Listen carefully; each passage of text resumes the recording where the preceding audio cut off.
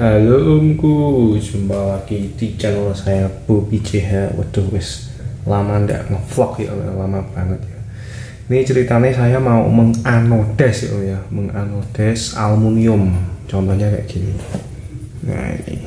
Contohnya warna kayak gini. Anodes. Ini juga center ya ini ya. Dari depan bagian depan center Nah, saya akan coba menganodes center yang ini. Tapi yang cuman bagian ini sampai ke depan, yang ini enggak. Soalnya kan ini ada ini switchnya lah, saya nggak bisa nyopot switchnya. Ini ya, harus dicopot dulu switchnya, tapi saya nggak tahu caranya. Segini aja ini enggak usah. Yang di anodes ini aja. Jangan lupa dicopot-copotin dulu. Ini ada silonya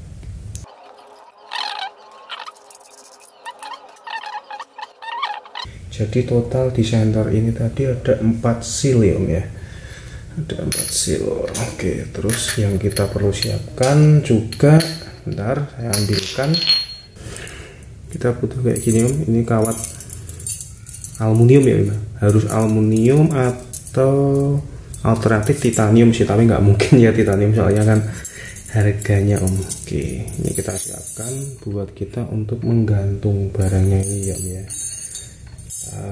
contohnya kayak gini. Ya jadi ini kita benggang ya istilah cara jawanya kita apa ya kita longgarkan gini terus kita masukkan. Kita masukkan.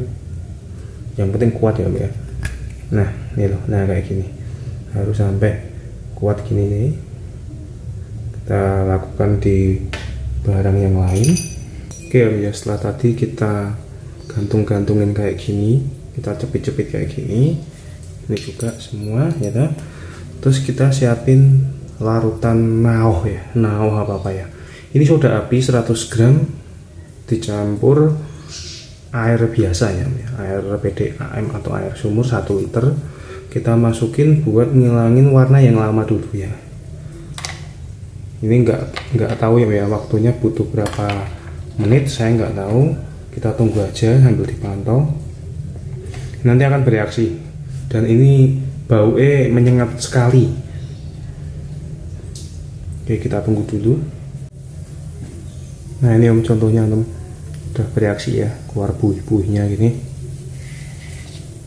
Nah ini keluar buih-buihnya ini biasanya warnanya udah mulai berkurang udah mulai hilang. Nah ini udah jadi kayak gini.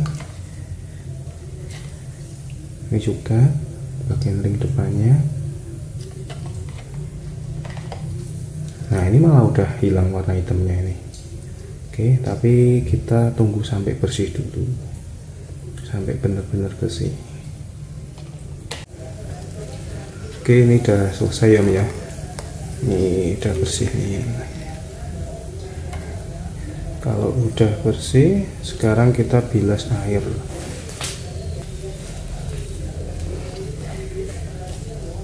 Baiknya sih pakai air mengalir ya ya baiknya ini cuma sebagai contoh aja.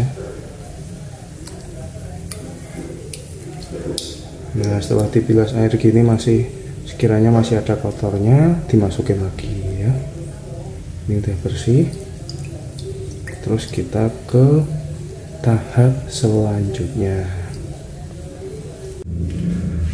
Oke tadi proses untuk penghilangan anodes yang lama sudah. Sekarang kita ke proses namanya etching ya om ya ini saya kurang tahu nih uh, cairan apa ya. Tapi yang jelas dari yang saya tahu ini namanya cleaner R850 ya ini kita masukkan sebentar aja nggak usah lama-lama paling sekitar satu menit. Ini akan bereaksi juga ya ya. Ini akan bereaksi. Nah saya deketin. Oke. okay.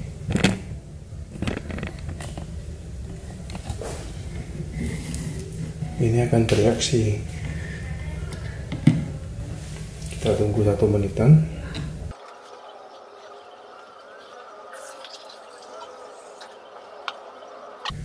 Nah itu ada reaksinya ya nah ini ada reaksinya.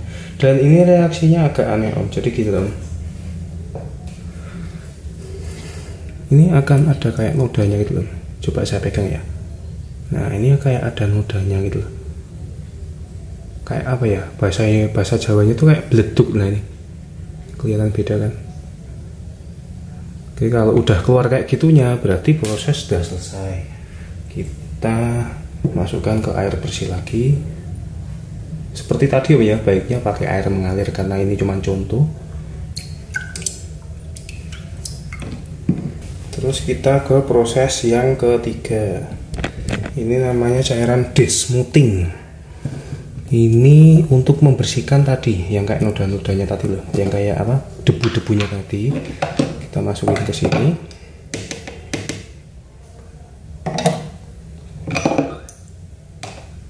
Ini setelah dimasukin ke sini nanti warnanya langsung terang aluminiumnya itu. Ini kan masih gelap ya. Ini kan masih gelap nanti langsung jadi terang ini nanti. Oke kita tunggu satu menit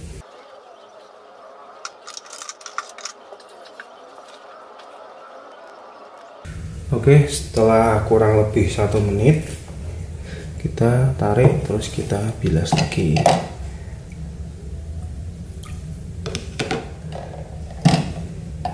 Nah langsung lebih terang kan warnanya?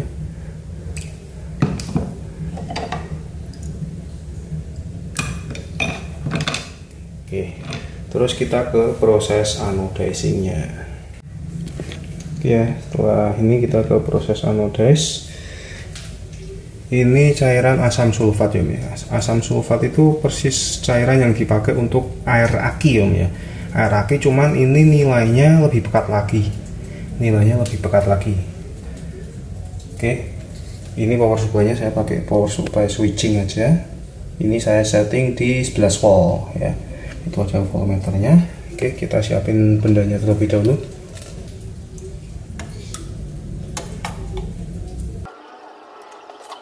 setelah kita gantung-gantung gini kita nyalakan power supply nya langsung akan terjadi reaksi ya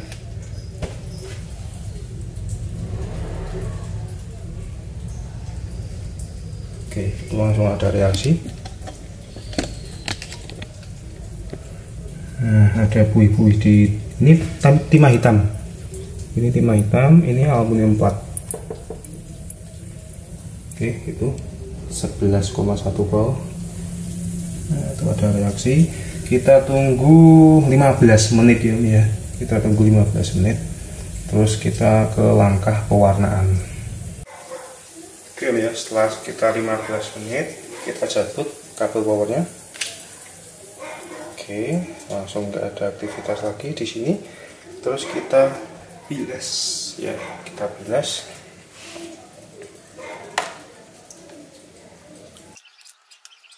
nah ini kebetulan kan saya ada beberapa warna ya ini ada biru hijau merah ini ada pink terus ini ada warna hitam ini ada gold gold sama warna ungu. Di FAL tuh buat uh, supaya aluminiumnya jadi warna doff ya ya. Tapi nggak pernah nggak pernah saya pakai soalnya ini. Tuh. Terus kita pakai yang warna ini aja yang warna umum ya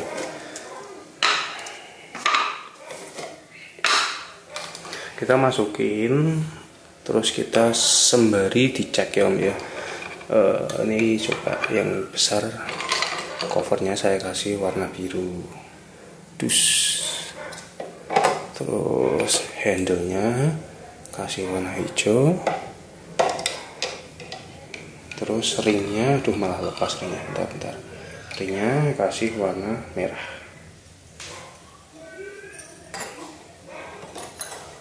udah biarin dulu aja. Kita cek. Nah ini terjadi warna birunya. Tapi kayaknya masih kurang apa ya kurang kurang tua. Kita itu yang warna hijau kita cek. Oh, hijaunya kayak gini. Hijau muda masih kurang lama. Terus untuk keringnya sebentar. Untung tadi. hehehe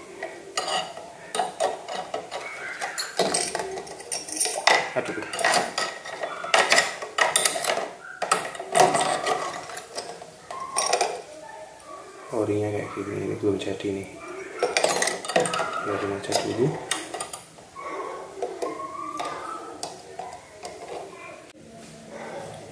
Oke ya, setelah sekitar 2 menitan ini om.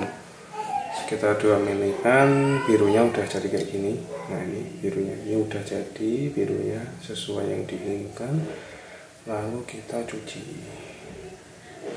Jus Masuk ke air biasa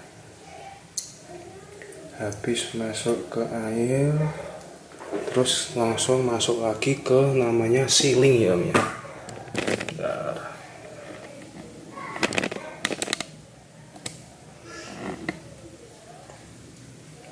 Masuk lagi ke siling sekitar 10 sampai 15 menit untuk yang ini.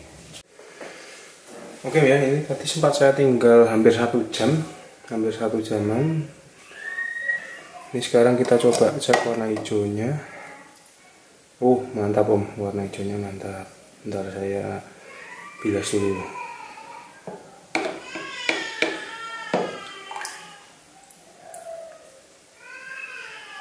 Kayak gini warna hijaunya. Mantap ya. Terus kita masukkan ke siling warna merahnya. Oh ini juga mantap berarti yang terkadang ada beberapa barang itu yang butuh agak lama ya pewarnaannya ya. Ini yang merah. Ya bentar. Nah ini. Gini merahnya.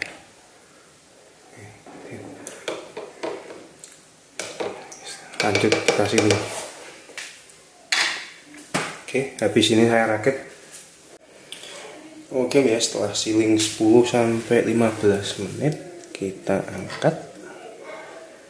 Nah, langsung kita bilas plus. Ini juga.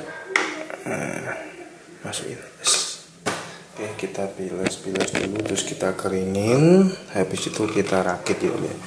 Ya maaf belum ada ini om. Belum ada lednya. Ini hanya sekedar contoh aja. Oke ini ya nah ini loh sayangnya tuh. Nah ini loh kan tadi ketutupan kawat gini ya ya. Ini kan ketutupan kawat. Nah ini tadi ketutupan kawat akhirnya jadi ada cacatnya dikit. Nah ini lah nah, itu ada cacat putih dikit. Nggak apa-apa sih untuk belajar sudah bagus nih om. Oke ya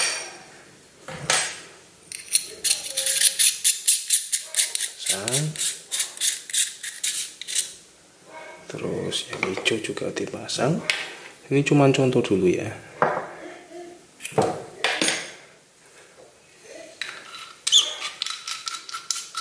Pasang. Terus switchnya.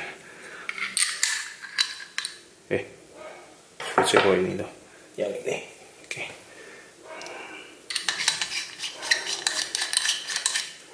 Nah jadi kayak gini om ya buat iseng-iseng lah. Lumayan tampil beda daripada teman-temannya. Oke ya gitu dulu. Terima kasih om bu